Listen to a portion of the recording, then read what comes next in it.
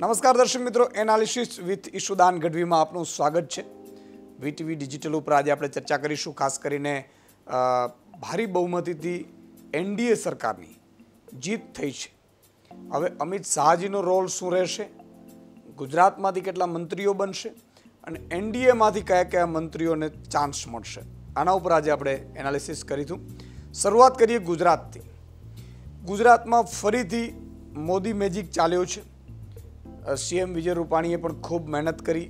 લગભગ મોટા ભાગની જે લોકસભા સીટો છે એના ઉપર પ્રચાર કર્યું એમણે.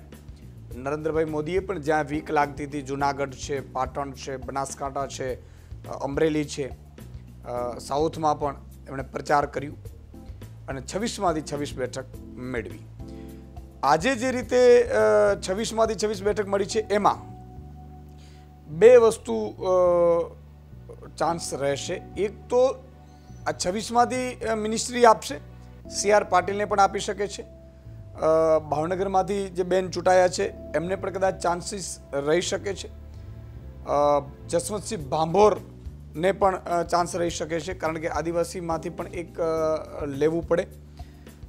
સૌરાષ્ટ્ર જે કહ્યું, એ પ્રમાણે ચાન્સ છે પણ રાજ્યસભામાં આ વખતે બે મંત્રીઓ ઓલરેડી હતા. પુરુષોત્તમ રૂપાલા અને મનસુખભાઈ માંડવિયા. અને આ લોકસભા ચૂંટણીમાં ગુજરાતમાં આ બંનેનું પણ ખૂબ એવું રોલ રહ્યું છે. મનસુખભાઈ માંડવિયાની જે સંગઠનની તાકાત છે, એ ખૂબ જ છે. એમનો માઇક્રો પ્લાનિંગ પણ ખૂબ જ સરસ હોય છે. અને કેટલીક જે બેઠકો કહેવાય, એ બેઠકની સ્પેશિયલ જવાબદારી મનસુખભાઈએ લીધી હતી અને બેઠકો જીતાડાવી છે. મોદી મેજિકની સાથે સંગઠન ભાજપનું બહુ જ ઇમ્પોર્ટન્ટ હોય છે. અને રૂપાલાજીના જે ભાષણો છે અથવા તો એમની જે સભાઓ છે એ પણ ખૂબ સારી જતી હતી. એટલે મને લાગે છે કે આ બંનેને પણ જો રિપીટ કરે, તો ચૂંટાયેલામાંથી એક અથવા વધીને બે મંત્રીઓને ચાન્સ મળી શકે છે. મનસુખભાઈ માંડવિયાને તો રાજ્યસભામાંથી છે, પણ એને ચાન્સ મળવાના પૂરેપૂરા ચાન્સીસ લાગી રહ્યા છે. એ પહેલાં પણ ફર્ટિલા ફર્ટિલાઇઝર મની મિનિસ્ટર હતા જ. તો સી આર પાટીલ છે એ વારાણસીમાં પણ ઓલરેડી ફરજ બજાવી છે નરેન્દ્ર મોદીની ગુડ બુકમાં છે અને સૌથી વધુ ની લીડથી એ જીત્યા છે. તો એક મહિલાને પણ ચાન્સ કદાચ આપે તો રંજનબેન ભટ્ટ છે, એમને પણ ચાન્સ મળી શકે. તો આ મિનિસ્ટ્રી આવી રીતે ગુજરાતમાંથી ગોઠવાય એવી ગણતરી લાગે છે. ત્રણ જેટલા મિનિસ્ટર છે એ ગુજરાતમાંથી જશે એમાં. કદાચ જો પુરુષોત્તમ રૂપાલા અને મનસુખભાઈ બંનેને જો રિપીટ કરશે તો બંનેને જો મિનિસ્ટ્રી આપશે તો પછી એક ચૂંટાયેલામાંથી આપશે. પરંતુ જો એક આપે તો બે ચૂંટાયેલામાંથી જાય એવી શક્યતા છે. હવે વાત કરીએ અમિત શાહજીની. અમિત શાહને કયો રોલ મળશે અથવા તો કઈ મંત્રીપદ કયું મંત્રીપદ મળશે એ ચર્ચાનો વિષય છે. પણ મને જ્યાં સુધી લાગે છે ત્યાં સુધી અમિતભાઈ શાહ જો નેક્સ્ટ ટુ પીએમ હોય તો એ કાં તો ડેપ્યુટી પીએમ હોઈ શકે અથવા તો ફાઇનાન્સ મિનિસ્ટ્રી છે એ હોઈ શકે નેક્સ્ટ ટુ પીએમ હોય.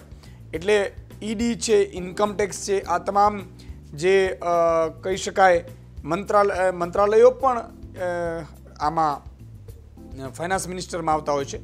તો અમિતભાઈ શાહની એક ચાન્સીસ એવા છે કે એ ફાઇનાન્સ મિનિસ્ટર બની શકે. ડિફેન્સ અથવા તો ગૃહમંત્રીમાં મને એવું લાગે છે કે એને ફાઇનાન્સ મિનિસ્ટર માટે માંગવામાં જવું પડે અને અમિતભાઈનું ત્યારનો જે રોલ છે, એ કદાચ જો મિનિસ્ટ્રી લેશે તો ફાઇનાન્સ અથવા ગૃહમંત્રી રહે, જો ના લે ડેપ્યુટી પ્રાઇમ મિનિસ્ટર પણ ન રહે, તો એ એનડીએના અધ્યક્ષ તરીકે સેવા આપી શકે છે. અથવા તો એવો કોઈ રોલ ડિફાઇન થાય, કારણ કે અધ્યક્ષની પદ પણ એ હવે પૂરી થવા આવી રહી છે. પરંતુ અમિતભાઈ શાહ છે, એ સરકારમાં હશે કે નહીં હોય, પરંતુ સરકાર એના થ્રુ ચાલશે એ વાત પણ નક્કી છે, કારણ કે એકબીજાના નરેન્દ્રભાઈ અને અમિતભાઈ એ પૂરક છે. હવે આપણે આવીએ એનડીએ. એ અકાલી દળ હોય કે પછી રામવિલાસ પાસવાનની લોક જન, જનશક્તિ પાર્ટી હોય. રામવિલાસ પાસવાન છે. એ જેની પણ સરકાર હોય એ પોતે જે જે બાજુ હોય સરકાર એ બાજુ પોતે રહે છે. અને એવી એક લોકવાયકા છે કે વલસાડની બેઠક જે જીતે એની સરકાર બને છે. અને રામવિલાસ પાસવાન જે પાર્ટીમાં હોય છે, એની સરકાર બને છે. આ એક માન્યતા છે. ખેર, પરંતુ રામવિલાસ પાસવાન ગઈ મિનિસ્ટ્રીમાં પણ હતા, એનડીએમાં પણ રહે છે, એ યુપીએમાં પણ રહે છે. રામવિલાસ પાસવાનની આ ખાસિયત છે. આ વખતે એમને પણ એક મિનિસ્ટ્રી મળશે. બીજા એનડીએ સાથી પક્ષોને પણ મિનિસ્ટ્રી આપવામાં આવશે.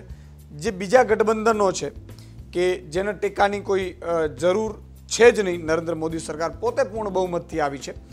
અને છતાં એનડીએને એટલા માટે આપશે કે એનડીએને વિશ્વાસમાં રાખીને ચલાવવાનો છે. શિવસેનાને પણ મંત્રીપદ મળશે.